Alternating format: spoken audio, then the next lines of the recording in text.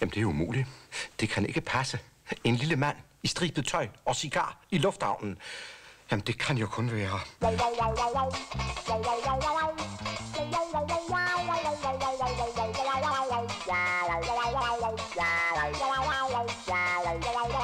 kan du selv høre, Benny. Og et er i hvert fald sikkert. Så snart du blander dig i noget, så går det galt. Se, nu kommer for eksempel politiet.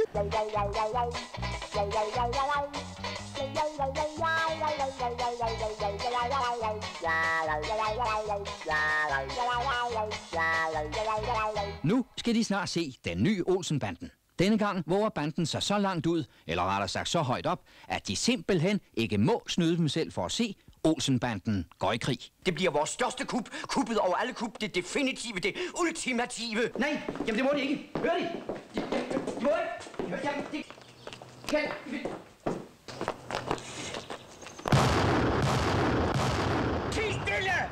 Skulle ikke holde ud. Her står jeg med en pengeskab til 100 millioner, du har ikke andet i hovedet end pandekær. Han er simpelthen ved at sende vort fødeland under fødderne på os.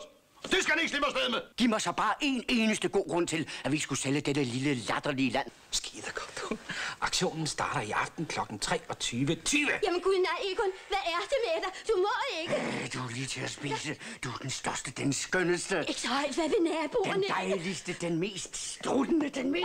Enkelt og genialt. Du tager røven på den hver gang. Det er skide skønt. Ja, det, det skulle næsten fejre. Ja, jeg giver. Der er pandekager et eller andet sted. Det er sgu dronningens badeværelse, du. 48 procent af lønnen beholder de sådan lige uden videre. Det gør mig ondt.